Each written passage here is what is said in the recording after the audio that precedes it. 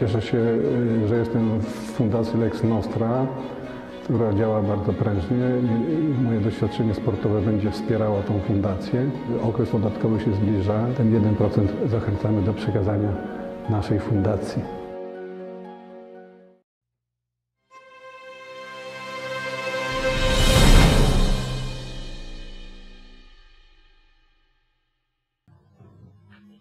Dzień dobry Państwu, godzina 16. Studio Niezależny Lublin.pl Witam Państwa w programie Polityczni Muszkieterowie, jak zwykle w poniedziałek. Dzisiaj gościmy Pana posła Stanisława Żmijana z Platformy Obywatelskiej. Dzień dobry. Pani Bogna Bender-Motyka reprezentuje dziś Zjednoczoną Prawicę. Dzień dobry. I Pan Jacek Kryniewski, Nowoczesna. Dzień dobry.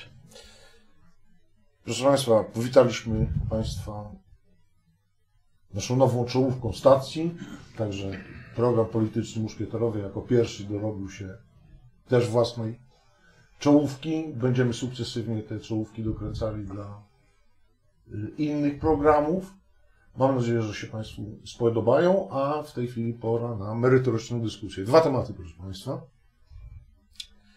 Po pierwsze, wywiad pana prezesa Jarosława Kaczyńskiego, Prawa i Sprawiedliwości dla Rzeczpospolitej w ubiegłym tygodniu w piątek. I drugie, bardzo bulwersująca, szczególnie w internecie odbiła się dużym echem, sprawa pana Hansa Gintera G. z małej miejscowości w Słupsku, w okolicach, przepraszam, Po- Pomorza, w okolicach Gdańska. Ten pan wsławił się tym, że mm, stwierdził, że nienawidzi Polaków, że czuje się hitlerowcem i Polaków to najlepiej wys- wystrzelać. Tą sprawą błyskawicznie zajęła się e, Reduta Dobrego Imienia. Pełna nazwa jest Reduta Dobrego Imienia na rzecz. Przepraszam, nie jestem w stanie sobie w tej chwili przypomnieć, starość mi radość, ale w każdym razie na rzecz dobrego imienia. Na rzecz. No, na rzecz przeciwdziałania, przeciwdziałania. Szerzeniu. To nie jest pełna nazwa, ale w każdym razie no. Jedziemy dalej. Jedziemy dalej, dokładnie. Tam szefuje tej, tej organizacji pan Maciej Świrski. Wykorzystując tą sytuację, że pan Maciej, Maciej Świrski, szef tej reduty dobrego imienia, na rzecz przeciwdziałania wszelkim niepolskim działaniom, tak to o, o, ogólnie opowiem. Gościu u nas w studio, dzisiaj pozwoliłem sobie zaprosić go do rozmowy i tą rozmowę przytoczymy w drugiej części y, programu. Zacznijmy od wywiadu y, pana prezesa Kaczyńskiego. Ja chciałem jedną rzecz przeczytać, y, która wzbudziła u mnie jakieś takie największe. Myślę, że jest bardzo ważna w tym artyk- artykule. Prezes Kaczyński odnosi się do sprawy oczywiście Trybunału Kon- Konstytucyjnego i pisze mm, następującą rzecz. Y, Musieliśmy zareagować na zamach Platformy na Trybunał Konstytucyjny, czyli przyjęcie w czerwcu niekonstytucyjnej ustawy pozwalającej PO wybrać dodatkowych sędziów. Przecież jest zupełnie jasne, że chodziło o coś, co nie ma y, nic wspólnego z zadaniami y, konstytucyjnymi Trybunału. Trzeba więc było bronić konstytucji, w tym bronić prawa większości parlamentarnej do realizowania swojego projektu y, Polski. Te słowa już wcześniej padały y, też y, na, z ust prezesa i na licznych konferencjach Prawa i Sprawiedliwości, ale tu jest moim zdaniem najistotniejszy fragment. Gdybyśmy nie zablokowali tej operacji, to przez cały okres naszych rządów Trybunał by nas zwalczał i nie moglibyśmy efektywnie sprawować władzy. Dziś mamy awantury, ale też posuwamy do przodu polskie sprawy. Gdybyśmy nie zareagowali, to awantury i tak by były, nawet w Unii Europejskiej, y, o to, że uchwalamy ustawy, które Trybunał, hurto, Trybunał Konstytucyjny hurtowo uznaje za kon- niekonstytucyjne. Jeśli panowie uważają, że bez naszych działań wobec TK byłaby sielanka, to niczego nie rozumiecie. Bardzo prosiłbym Państwo, myślę, zapoznali się z tym artykułem. Bardzo proszę o komentarze do całego, do całej wypowiedzi pana prezesa Kaczyńskiego, a szczególnie do tego fragmentu, który ja przetoczyłem. Kto z Państwa rozpocznie? No to ja na końcu poproszę. Myślałem, że pani To ja kobieta. zacznę. No to pan Jacek, proszę bardzo. Więc yy, odnosząc się do tego artykułu, można powiedzieć tylko jedno, że W zasadzie nic nowego. E, tego typu komentarze e, ze strony różnych przedstawicieli Prawa i Sprawiedliwości słyszymy od samego początku trwania sporu o Trybunał. E, ten argument, że Trybunał Konstytucyjny, bo to jest nowy, dość mocny argument, na który pan rektor zwrócił uwagę, przeszkadzałby w przebudowywaniu Polski, moim zdaniem jest daleki od prawdy, bo Trybunał nie jest zdany raz na zawsze.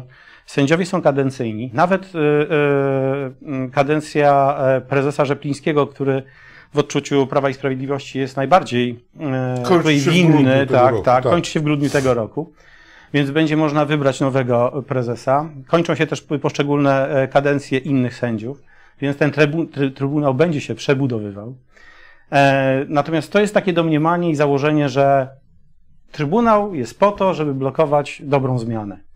E, proszę Państwa, Prawo i Sprawiedliwość bezdyskusyjnie wygrało wybory.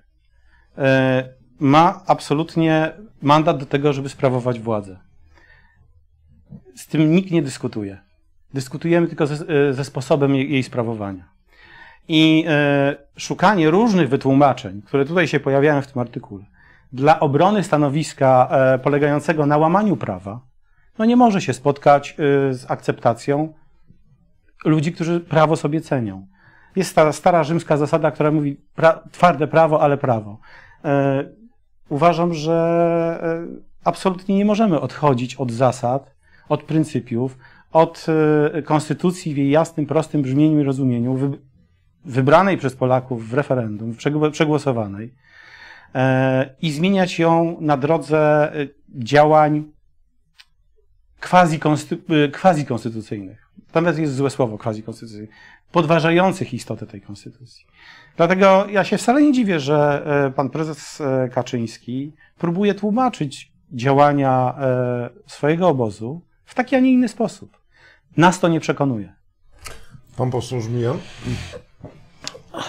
Wydźwięk tej rozmowy niestety niepokoi i musi niepokoić. Otóż. Znaczy rozumiem, że mówi Tego pan wywiadu, tak? O wywiadzie, a nie tej, o naszej rozmowie. Nie, nie, tej rozmowy pana prezesa Kaczyńskiego z dziennikarzami. On, on musi niepokoić, dlatego że naprawdę to, co pan redaktor zacytował, to jest jakby jedna kwestia.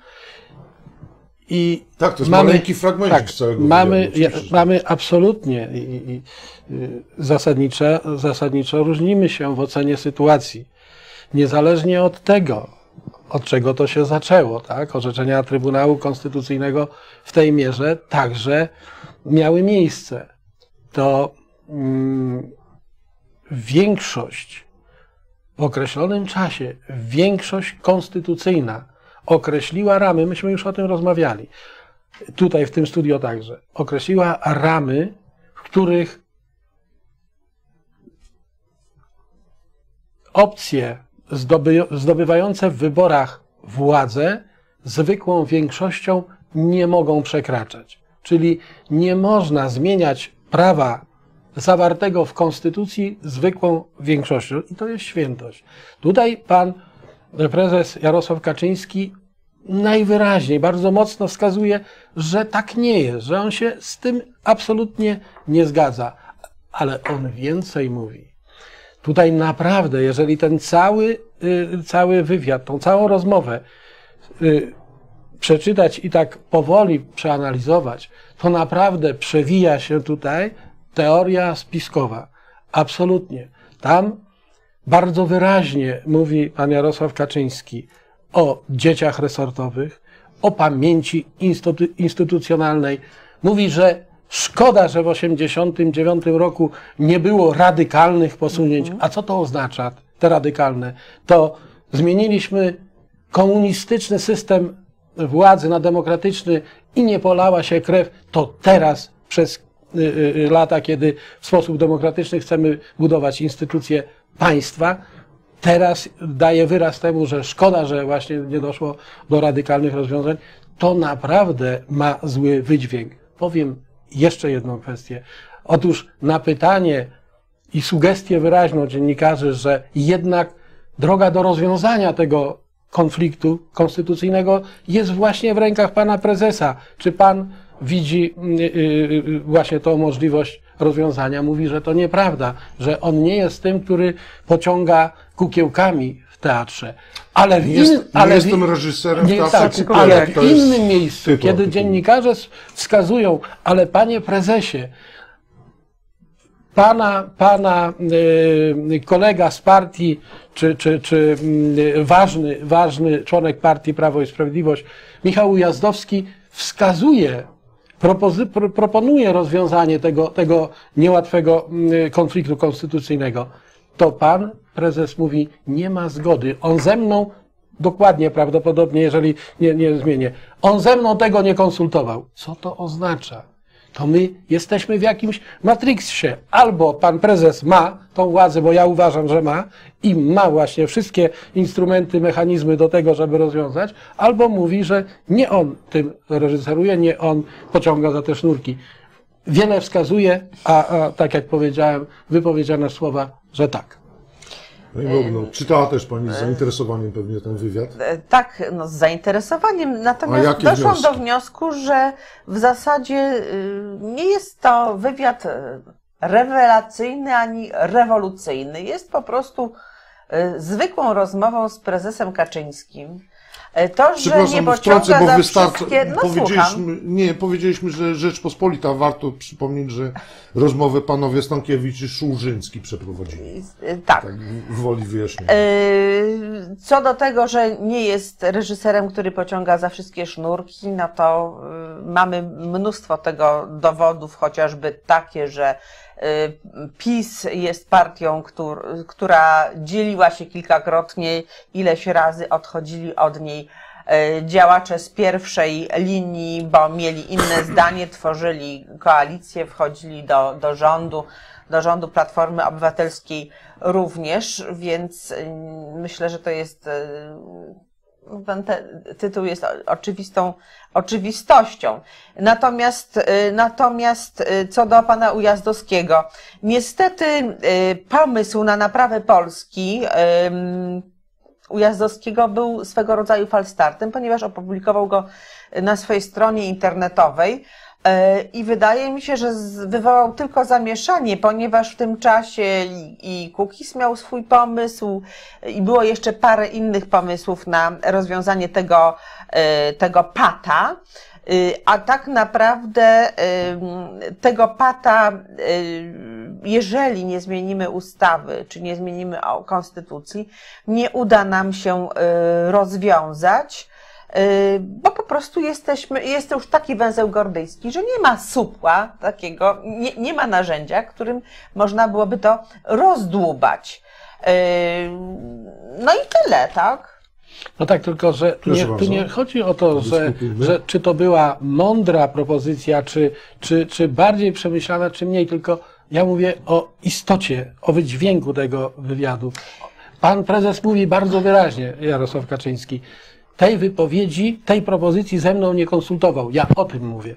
Y, Tak, Bo bo władza jest w jednym ręku. W ręku, tak jest. Ja, w ja, ja to z całą No dobrze, Absolutnie ale ja Jeżeli takie jest pytanie. to osoba, która jest związana z prezesem Kaczyńskim, tak, i ma jakiś pomysł i wspiera obóz rządzący yy, i nagle wymyśla sobie, tak jak kujonek w pierwszej ławce, proszę panie, ja coś fajnego wymyśliłem i już wszyscy muszą wiedzieć, Ym, a inni konstytucjonaliści, czy konstytucjonaliści y, mają też już w tej chwili y, zamęt w głowie, bo nie wiedzą jak to zrobić, bo przecież to jest dla wszystkich oczywiste i jasne, że Platforma Obywatelska chciała zrobić zamach na PiS, y, zanim y, wygrał Duda, y, zanim y, PiS y, przejął władzę, bo sondaże były nieubłagane i wiadomo było, że będzie porażka y, porażka y, i Komorowskiego, i, i tej formacji. A ja do panów z opozycji mam takie pytanie. Czy rzeczywiście wam tak przeszkadza to, że rola prezesa Kaczyńskiego jest nie do końca, że tak powiem, zdefiniowana? Bo ja przyjmuję, że on jest czymś w rodzaju naczelnika państwa. On rządzi w tej chwili Polską. Nie ponosząc żadnej odpowiedzialności to konstytucyjnej właśnie. e, za decyzje, które są podejmowane. Y, Często słyszymy. e, Po pierwsze, jest politykiem, czyli wyobrażam sobie, że teoretycznie przed Trybunałem Stanu można by go... No nie, Przecież no nie, nie, nie, nie, nie pełni no funkcji. właśnie nie, nie, Nie pełni funkcji, Nie, nie, nie nie. pełni funkcji. Aha, ale sprawuje władzę nie bezpośrednio przez swoich przedstawicieli, tak to określmy. Niektóre gremia prawnicze mówią, że istnieje możliwość e, sformułowania zarzutu o tak zwaną sprawczość nadrzędną. Może przekreślam to sformułowanie, Tak, tak, tak, tak. ale e, funkcjonuje w kodeksie, nie jestem prawnikiem, e, e, funkcjonuje w kodeksie faktycznie e, tego typu e, sformułowanie. Dla obserwatorów życia e, e, politycznego w Polsce E, Myślę, że z jednej i z drugiej strony, również po stronie, również w PiSie, e, na pewno istnieje wrażenie, że, to, że partia jest bardzo mocno etatystyczna, scentralizowana i ma jedno mocne przywództwo. To jest jakby oczywiste. E, Dotychczasowe działania ani, ani pani premier Szydło, ani pana prezydenta, tym bardziej pana prezydenta, który powinien stać na straży konstytucji, e, jest, i być jej jakby największym orędownikiem i obrońcą, nie wskazują na to, że e, tą funkcję chciałby spełniać. Wpisuje się raczej w retorykę, którą słyszymy e, z ust pana prezesa, czy w ust, z ust najbliższych współpracowników pana prezesa Kaczyńskiego.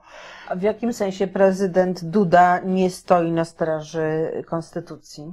E, Chociażby nie przyjmując e, przysięgi, Ślubowania. ślubowania od trzech poprawnie wybranych e, e, kandydatów na sędziów Trybunału Konstytucyjnego. Chociażby w tym przypadku. A może właśnie w imieniu konstytucji on to robi?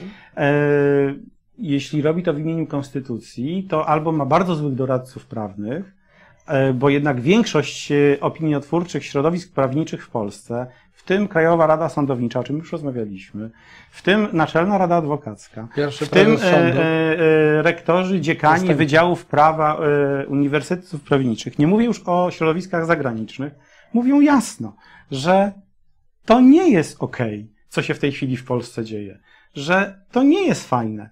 I za chwilę możemy pewnie i do tego dojdzie. Będziemy też rozmawiać o sytuacji z Komisją Wenecką, e, y, gdzie pan prezes e, chce powołać nowe gremium, a w zasadzie może nie tyle pan prezes, bo powoływać będzie je marszałek, Marszałek. Kuchciński z własnej na pewno inicjatywy. E, gremium ekspertów, nie wiemy jeszcze jakich. E, Konstytucjonalistów. nie wiemy jeszcze jakich, którzy mają się odnieść do e, opinii wyrażonej przez Komisję Wenecką, w której, e, która ma określone stanowisko, przyjęła je, przesłała, poinformowała, zaleciła. E, Co ciekawe, na pytanie w tymże artykule, e, czy opozycja będzie mogła tam e, skierować swoich przedstawicieli, gdyby taka komisja powstała, odpowiedź padła jedna. Jeśli będą merytoryczni. Pytanie Kto o będzie ocenę, określał? kto będzie oceniał merytoryczną wiedzę prezesa Sądu Najwyższego, kto będzie oceniał merytoryczną wiedzę przewodniczącego nac- na Naczelnej Rady Adwokackiej? Kto?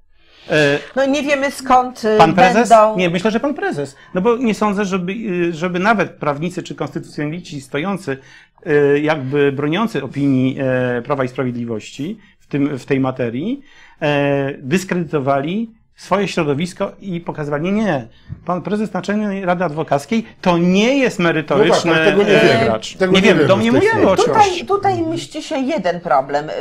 Mści się to, że nie było lustracji w środowiskach sędziowskich, prokuratorskich i naukowych, także prawniczych po 1989 roku. I tak się złożyło, że są to środowiska w dużej mierze takie, które napiszą taką opinię, jaką sobie życzy władza ta, która im się podoba. No jest to odpiłowywanie od koryta w tej chwili tego środowiska. Proszę popatrzeć na średnią wieku sędziów Trybunału Konstytucyjnego. Oczywiście muszą to być ludzie doświadczeni, ale państwa, które chcą budować swoją niezależność i swoją siłę i swoją niepodległość, stawiają na ludzi młodych. Proszę popatrzeć na to, co robiono w Gruzji, proszę popatrzeć na to, co się dzieje na Węgrzech, co się dzieje w Słowacji, co się dzieje w Czechach. Trzeba, y, trzeba otworzyć y, przestrzeń dla tych ludzi, którzy tak naprawdę będą w tych krajach żyli. To, co się dzieje z Trybunałem Konstytucyjnym, To jest wynik bardzo wielu błędów y, i my to widzimy, bo stali się oni narzędziem dla złych y, działań. Y, Dochodzimy do tego, że nasza demokracja y, ma być weryfikowana na ulicach i nie będzie jej bronił nikt inny, tylko tak, Komitet Obrony Demokracji, Ale- który ale- stoi na krakowskim i rozdaje cukierki. Ale, ale wcale, Ze spontanicznych wcale tak nie musi być. Komitet Obrony Demokracji nie, nie pojawił się jak, e, e, nie wiem, e, królik z e, kapelusza, z cylindra. Nie. Pojawił, się pojawił? pojawił się w dość określonej, specyficznej sytuacji. Gdyby nie było łamane prawo, pewnie nic by się nie wydarzyło. Ludzie, myśli pani, że ludzie chcą biegać po ulicy, kiedy temperatura jest Ale słaba wie pan co, pan, i leje deszcz? emerytki, które biegają po krakowskim to- to przedmieściu, mają dużo, mają, nie, to nie, to nie, to nie te emerytki, Poza tym ja chciałbym, no, to, czyli, czyli są, e, są sorty. Te Jednak są, są- nie, sorty. te- te- Sort jeden, sort Oczywiście, drugi. tamte są moherowe, a te są futra z norek i na tym polega ta różnica. Natomiast ja jeszcze chciałbym jedno tutaj dorzucić, bo wspomniała Pani że, e, o, o leciwości gre- gremium e, że ono, e, że te elity u nas są faktycznie w wieku. To e, nie p- są elity, właśnie na tym e, polega problem, że to Dobrze, nie są, to, to, my to wszystko źle Ci reprezentanci środowiska prawniczego są już leciwi. Otóż my mamy też innych, którzy y, pojawili się e, dość niedawno. Nie- Niedawno rozmawialiśmy w tym studiu o jednym z sędziów warszawskich, e, który należy do młodego pokolenia. Nie sądzę, żeby chciał się odcinać od- od jakiegoś koryta, bo jest za młody, żeby, żeby przy nim kiedykolwiek być. A, a jednocześnie już ma problemy, takie, a nie inne. E, Poza tym zawsze w społeczeństwach e, było tak, że ludzie starsi, e, dobrze przygotowani przez życie, dobrze wyedukowani, stanowili autorytety dla rzeszy młodszych, średnich. Oni się od nich uczyli. Było to zawsze w społeczeństwach, odkąd pamiętam, e, historia ludzkości uczy. Pan co, nasze rady elity to starszych. zostały wyrżnięte i to, co mamy y, w tej chwili y, i co próbuje przejąć y, w sposób demokratyczny, tak, władzę w 100 dni po wygraniu y, przez PiS władzy, to są właśnie te, te elity, które mamy od roku 40 któregoś, to są ich dzieci, ich wnukowie, to jest to tak zwane w trzecie prawie- pokolenie. Ale w Prawie Sprawiedliwości y, prawda, mamy też Państwa, takich smutno- pracy, smutno- nasza smutno- prokuratura. Smu, smu, smutne, bardzo interesujące Tak, wymiana zdań, zapraszamy ale do włączenia się do dyskusji. chcę, jeszcze, chcę, chcę jeszcze jeden wątek. Otóż tutaj e, nawiązując do pytania pana reda- redaktora, oczywiście to tak jest w tej chwili rzeczywiście, że pan prezes Jarosław Kaczyński ma w ręku pełn, pełnię władzy, ale rzeczywiście nie odpowiada w tej chwili, bo nie pełni żadnej funkcji. I smutne, naprawdę smutne jest jeszcze, smutny jest jeszcze jeden wątek y, tego, w, ty, w, tej, w tej rozmowie z dziennikarzami. Otóż nie, dziennikarze zwracają uwagę, panie prezesie, nie, niepokoi, nie martwi to pana, że w najbliższym czasie może być sytuacja, że będziemy mieć dualizm prawny, bo przecież y, sądy, funkcjonariusze państwa będą wykonywać w różny sposób, stosować w różny sposób to prawo. A Na to pan, pre, prezes a, tak, a pan prezes odpowiada, a to specjalną ustawą znajdziemy, mie znajdziemy miejsce dla tych, którzy nie będą stosować prawa tak, jak my chcemy. Y, Tak, jak my chcemy, oczywiście to ja dodałem, ale taki jest kontekst tej wypowiedzi. Naprawdę, to prowadzi nas na manowce, to nie prowadzi nas do y, dobrego, y, y, roz, roztropnego rozwiązania tego niełatwego konfliktu konstytucyjnego. No, no to jest prosta konsekwencja specustawy o Trybunale Konstytucyjnym. Ale też, przepraszam, bardzo ważny ten głos pana posła, to pozwólcie państwo, że ja odczytam ten fragment. To były dwa pytania krótkie. Jest pan doktorem prawa, dziennikarze oczywiście mówią. Rozumie pan doskonale, że grozi nam całkowity paraliż państwa. Teraz Trybunał weźmie na wokandę kolejne wasze ustawy o służbie cywilnej, medialną czy inwigilacyjną. I tak dalej jeszcze w pytaniu. Korzystne czy niekorzystne opinie przyjmowane przez to grono sędziów będą traktowane jako non-est, nieistniejące. Nieistniejące. No, tak. I drugie pytanie. Będzie chaos w państwie, bo część sądów może się kierować tymi orzeczeniami TK, mimo że ich właściwie, y, mimo że ich nie będziecie publikować. Być może potrzebna będzie specjalna ustawa, która ureguluje skutki prawne działań przedstawicieli instytucji państwa działających niezgodnie z prawem. To jest ten fragment. Tak jest, to, to No, co to powiedziałem. Są, to są konsekwencje tego, co no, Trybunał wziął na swoją Tak, głowę, ale- czyli upolitycznienie. E, Pani redaktor Górska, Gujska-Hejke zapytała prezesa Trybunału Konstytucyjnego, dlaczego było tylu sędziów, a nie 15, tak? E, Nie potrafił wytłumaczyć, dlaczego dobrał sobie, dlaczego stwierdził, że wystarczy taka liczba, a przecież zaprzysiężono Pani jest Hejke więcej. Gór, y, Górska to, to, to znaczy Telewizja Republika. Tak, tak, tak, tak. I w tym momencie prezes, y, tak powiem, no nie wiedział, co ma powiedzieć. No tak, tylko że jedno musimy tutaj y, wyraźnie powiedzieć. Rzecz w tym, że jesteśmy w, w państwie podzieleni. Musi pan prezes wziąć to pod uwagę. Gdyby podzielało tą opinię 90, 80, 70, 90%, to my to rozumiemy. Ale my wiemy, że tak nie jest. W związku z tym ta sytuacja wymaga jednak To dlaczego pan prezes jednak y, podjęcia sądu Trybuna, poważnych, Trybunału Konstytucyjnego boi się pełnego składu? No, Nie, to nie to, nie że ma, on nie ma, on nie ma innej możliwości w Trzeba, tej chwili, trzeba tak? przede wszystkim zaprzysiąc e, Tak. tych trzech sędziów, którzy zostali, zostali e, wybrani No zgodnie ale z prawem. Rzepliński nie wykonuje wszystkiego, co do niego należy, tak? W tym momencie. E, pan prezydent Duda też nie wykonuje wszystkiego, co do niego należy. No i to, to, to jest E, tak, i- naddatek to- i i- tak, To jest- I tak naprawdę to jest to zapędlenie, tak? To jest Więc to który zapętlenie. strzeże konstytucji z nim? e, Obydwaj są zobowiązani. e, zdecydowanie... Znaczy, Obydwaj są zobowiązani, Zobowiązani, tak? tak, tak, tak. O, oczywiście, O, my też. udało się pewien konsensus. My też. Bardzo dziękuję, bardzo dziękuję. Przejdźmy do drugiego tematu, czyli do Płynnie. występów, do występów pana Hansa Gintera G. z Pomorza. Y, Proszę bardzo o opuszczenie tej y, rozmowy z panem, y, z panem, y, z panem Świrskim, y, ale tak, żebyśmy tutaj w studio też ją słyszeli, dobrze?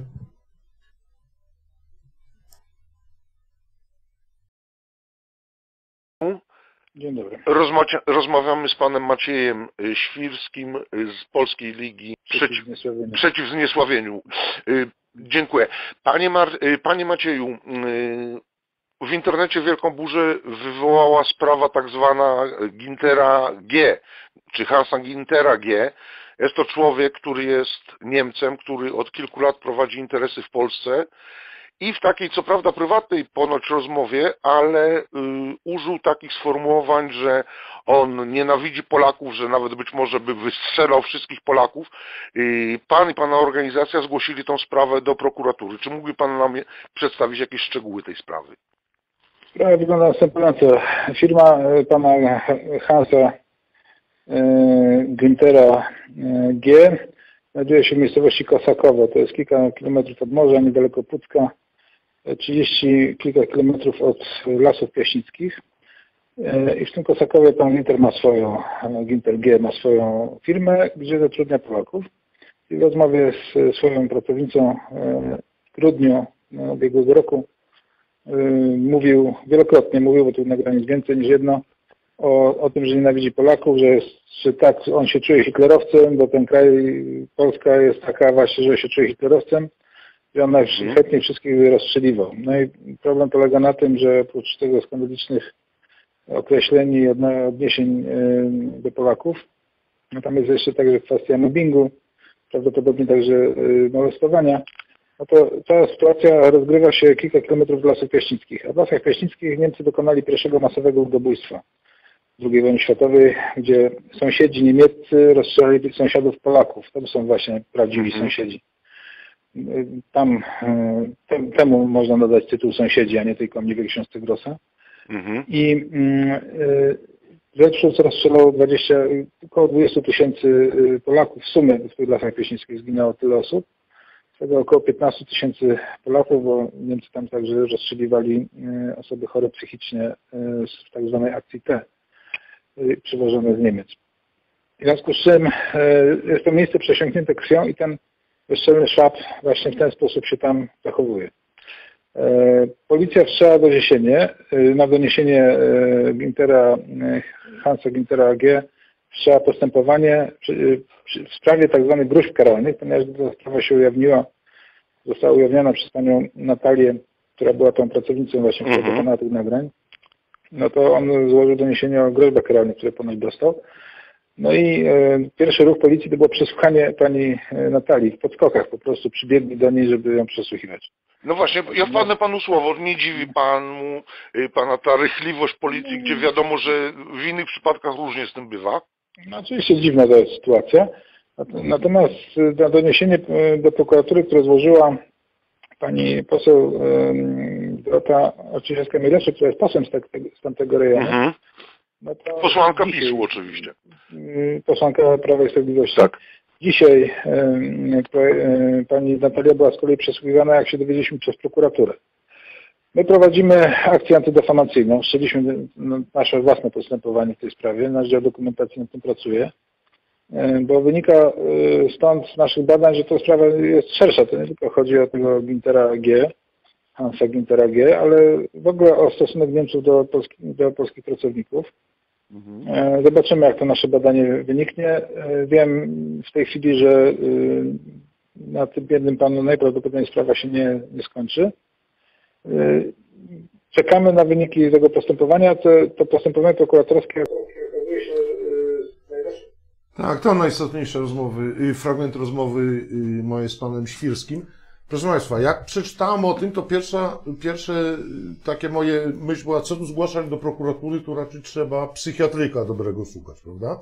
Ale po zastanowieniu, y, czy nie jest warto jednak y, kierować te sprawy do prokuratury i piętnować te oszczerstwa, jakie są wypowiadane, to mi w ogóle jakimś nazizmem pachnie. Jak jest No my Państwo się, zdanie. mus, musimy się szanować jako naród. Yy, Prawo jest takie samo dla wszystkich. Czy ktoś jest obywatelem Niemiec, czy jest Polakiem, yy, ma yy, prawo działać tylko w granicach prawa. Mi się przypomina taka sytuacja z Wrocławia, kiedy bodajże jakaś dziennikarka została wyproszona z restauracji, dlatego że przychodzi grupa Niemców, prawda? E, Więc ym, coś, coś jest takiego y, na rzeczy, że ym, taka wrażliwość, która, y, którą odczuwamy w internecie, tak?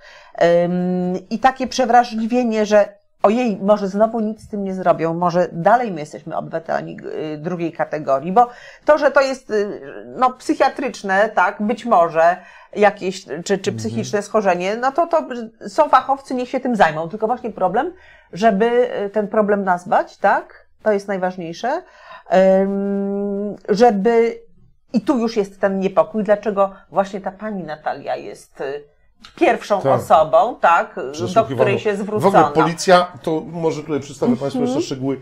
I to było tak, że panią tą Natalię odwiedziła policja o 18 w piątek i wezwała na przesłuchanie na najbliższy komunikat tego samego dnia bodajże na 19 czy 20. I jednocześnie ten pan, cały Ginter Hans i tak dalej, wystąpił o to, żeby y, z internetu zniknęły wszystkie wiadomości na to i podobno prokuratora też się tym zajęła. Wszystkie wiadomości na temat tej sytuacji. Czy to nie jest skandal po prostu? Czy każda taka sytuacja, w której przedstawiciel jednego narodu nawołuje do dziwnych zachowań, nienormalnych zachowań wobec przedstawicieli drugiego narodu, czy to będzie Niemiec w stosunku do Polaków, czy to będą Polacy w stosunku do Żydów, czy to będą Rosjanie w stosunku do Polaków, czy ktokolwiek w stosunku do kogokolwiek, to takie sz- rzeczy trzeba ścigać, bo I tu nie ma taryfy jądro, bo jądro nienawiści, ono drzemie gdzieś tam w każdym społeczeństwie. Są grupy, ludzie, może nie grupy, ludzie, którzy myślą inaczej niż e, e, gro społeczeństwa. I takich ludzi trzeba po prostu znaleźć, zdefiniować i w ramach obowiązującego prawa, jeśli je naruszyli, po prostu penalizować. No, nie wolno nawoływać do e, zachowań, Jakiejkolwiek do nienawiści. jakiejkolwiek nienawiści. Y, Musimy żyć na tej planecie razem obok siebie, szanować siebie wzajemnie. E, I tyle. No. Pan, pan, y, spra sprawa tego pana Gintera no, jest dla mnie po prostu z jednej strony wręcz śmieszna, a z drugiej strony pokazuje tylko i wyłącznie jedno, że y, cały czas gdzieś z tyłu niektórzy ludzie mają dziwne myśli w głowach. I to jest być może faktycznie i dla pana prokuratora robota, i dla pana psychologa jak, jak, jak, jakieś zajęcie, psychiatry. Można, by, można by to potraktować jako, jako incydent, jako przypadek rzeczywiście do leczenia, gdyby nie padały tam bardzo mocne stwierdzenia, tak, bo on mówi, że jest hitlerowcem, Tak. czyli jest nazistą. Nawołuje do Na, nasizmu. nasze, nasze prawo jednoznacznie te sprawy reguluje, czyli, czyli y, nie można, nie można głosić idei totalitarnych systemów, czyli komunistycznych, y, y, nacjonalistycznych. W związku z tym to oczywiście podlega ściganiu.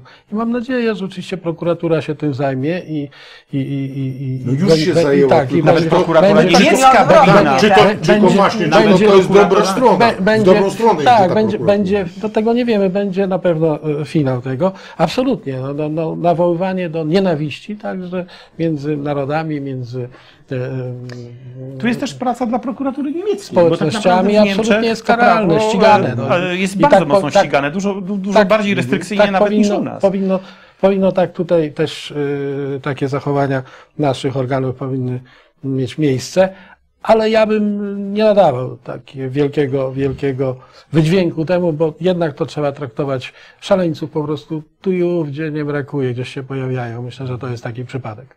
No, oby tak było, jak mówi y, pan poseł. Przypomnijmy, że Polacy nie mają takich, sam praw, takich samych praw w Niemczech jak, jak Niemcy w Polsce. Nie są mniejszości. Y, Nie są mniejszością. Y, Dzieci polskie Są są, zabierane. są zabierane, tak. Jest szereg różnego rodzaju przymusów w stosunku do ludzi y, polskiego pochodzenia. Y, Przecież mm, dawno, dawno temu, przed wojną, większe prawa Polacy mieli przecież spod, spod znaku rodła, tak? Y, Z przykrością to należy powiedzieć.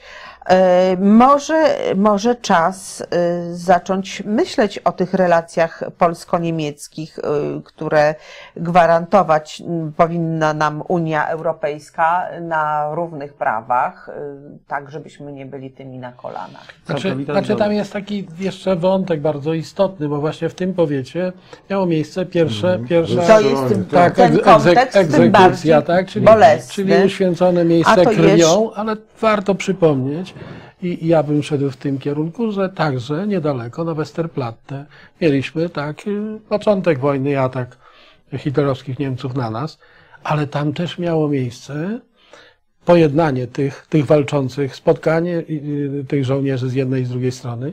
Warto o tym pamiętać, warto po prostu budować przyszłość na zasadzie po prostu wzajemny, wzajemnego szacunku i przyjaźni. No i w czasie, kiedy Muzeum Ulmów jest tak otwierane.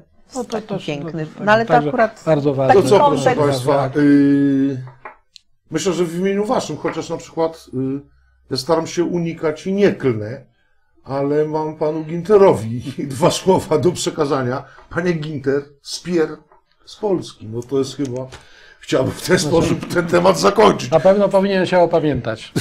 Na pewno Dobrze. jest wielu chętnych do pracy w Niemczech. W tej chwili jest nawet duża fala, może i dwa miliony. Dobrze, dziękuję bardzo Państwu za przybycie, za interesującą rozmowę i myślę, że też chcemy razem naszym widzom złożyć życzenia spokojnych świąt Wielkiej Nocy, które już za tydzień w związku z tym nie będzie programu. Bo śmigus dyngus, tak? Boi się, Śmigus boi się pan redaktor tak, sprzęt. tak, Dobrze. tak, tak. Boję się o moich gości, żeby zbyt mokrzy z tego studia nie wyszedł. Tak, to- Dziękuję bardzo Państwu za uwagę, dziękuję Dziękujemy moim gościom. Do Dziękuję. zobaczenia. Dziękujemy, do widzenia. Tydzień po poniedziałkowym śmigusie dyngusie. Wesołego. Aleluja. Wesołych świąt. Wesoł się.